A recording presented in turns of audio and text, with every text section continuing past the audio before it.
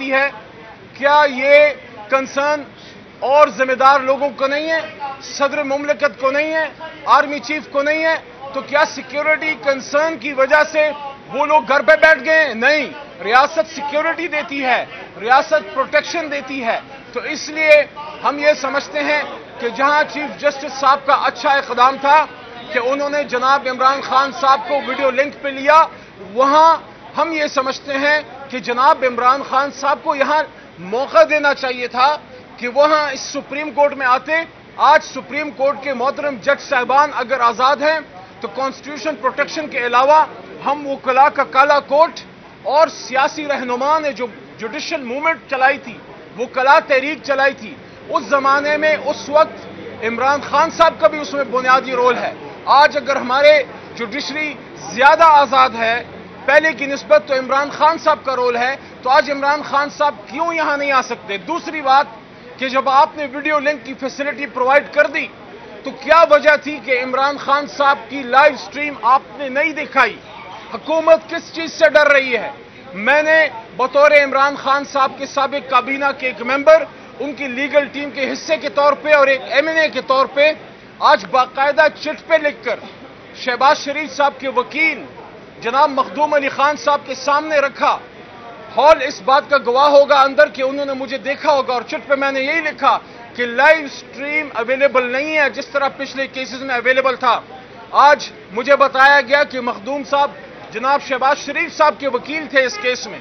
तो मेरे ख्याल में मैंने वज़ीर आज़म तक ये बात पहुँचा दी कि इमरान खान साहब का और आज का ये केस जिसमें खान साहब बतौर रिस्पॉन्डेंट खुद पेश हुए उसको लाइव स्ट्रीम क्यों 25 करोड़ आवाम को महरूम रखा गया? हम बतौर वज़ीर आज़म कोई स्पेशल प्रोटोकॉल इसकी लाइव स्ट्रीमिंग के लिए नहीं चाहते। हम ये कह रहे हैं कि इमरान खान साहब को उतना तो हक दें जो एक आम पाकिस्तानी का है। बतौर वज़ीर आज़म आपने कोई जो उनका हक बनता है नहीं देना तो बतौर आम पाकिस्तानी वो हक जो किसी भी मोकल को, इनको, मुझे या इनको हासिल था कि कल तक यहाँ से जो भी केसेस हुए उसकी लाइव स्ट्रीम चली। कुछ तो वजह थी कि इमरान खान साहब की तस्वीर से ये हुकूमत और उनके हवारी वो क्यों परेशान है? बाकी इमरान खान साहब के केसेस खत्म हो रहे हैं। अल्लाह ताला के करम से जो तोशे खाने का केस था जिसमें जमानत मिली जिसमें सजा मुतल हुई उनकी भी, उनकी भी और बीबी साहिबा की भी। बुशरा बीबी साहिबा का भी और इमरान खान साहब का भी। तो इसी तरह अलकादर ट्रस्ट में भी जमानत मिली। तो ये केस जो झूठ का पलिंदा है, जो लघव है, वो लम्हा बलम्हा तारीख के कूड़ेदान में जा रहे हैं। जुडिशरी लम्हा बलम्हा आहिस्ता आहिस्ता हमारे वो कला अल्लाह के करम से सर्जिकल एक ऑपरेशन जिस तरह होता है, इन केसेस की सर्जरी हो रही है और ये कैंसर जदा केसेस जो हैं, ये डस्टबिन ऑफ़ हिस्ट्री में जा रहे हैं। इनशाला ये जो दो केसेस साइफर के है, अपील में लगा हुआ है और इसके साथ साथ उनका जो इद्दत का केस है, यानी हमने 1500 साल में साढ़े चौदह सौ साल to be specific Islamic history में हमने सुना कि जना पे सजा है, आज के इस्लामी जमहूरिया पाकिस्तान में निकाह पे सजा है। निकाह पे सजा है। तो इंशाल्लाह ये केसेस खत्म होंगे। इमरान खान साहब बाइजत बरी होंगे। हमें अपनी सुप्रीम कोर्ट पर एतमाद है तो है। लेकिन दोबारा ये बात कर रहे हैं कि जो सहूलत और मवकिलीन को हासिल है वो सहूलत इमरान खान साहब को भी दी जाए और अगली पेशी पे जब भी हो और उम्मीद है जल्द होगी, इमरान खान साहब की लाइव स्ट्रीम जो है, जब वो खुद बात करेंगे बतौर रिस्पोंडेंट तो उनका जो मुकालमा होगा मोहतरम जज साहिबान के साथ, जिसमें चीफ जस्टिस साहब भी हैं, बरए करम उसको लाइव स्ट्रीम कीजिए। बहुत शुक्रिया। आती है, क्या ये कंसर्न और जिम्मेदार लोगों को नहीं है? सदर मुमलकत को नहीं है? आर्मी चीफ को नहीं है?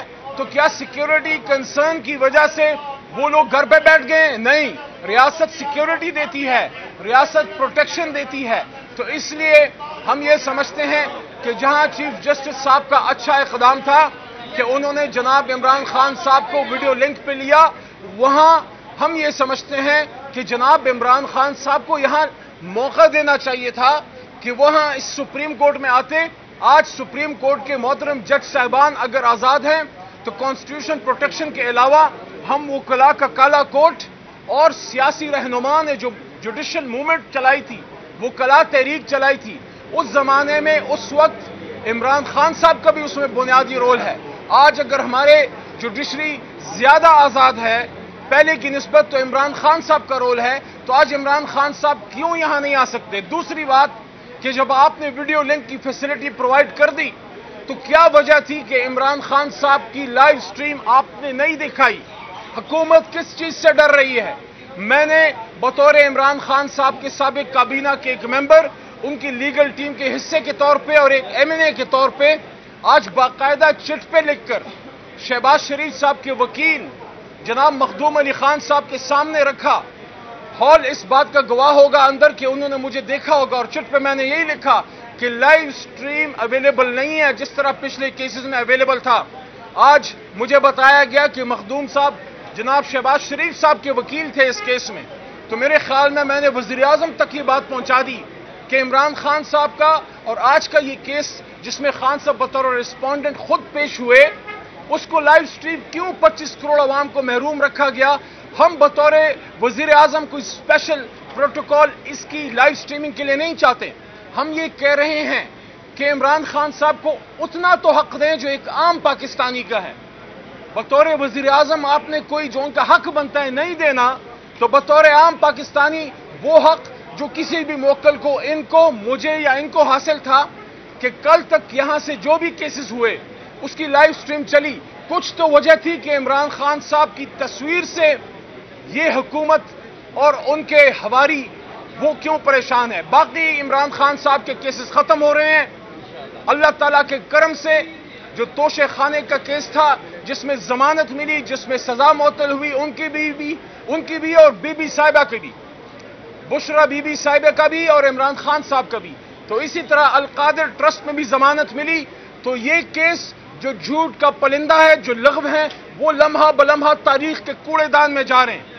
जुडिशरी लम्हा बलम्हा आहिस्ता आहिस्ता हमारे वो कला अल्लाह के करम से सर्जिकल एक ऑपरेशन जिस तरह होता है, इन केसेस की सर्जरी हो रही है और ये कैंसर जदा केसेस जो हैं, ये डस्टबिन ऑफ़ हिस्ट्री में जा रहे हैं। इनशाला ये जो दो केसेस साइफर के है अपील में लगा हुआ है और इसके साथ साथ उनका जो इद्दत का केस है, यानी हमने 1500 साल में, साढ़े चौदह साल to be specific Islamic history में हमने सुना कि जना पे सजा है आज के इस्लामी जमहूरिया पाकिस्तान में निकाह पे सजा है।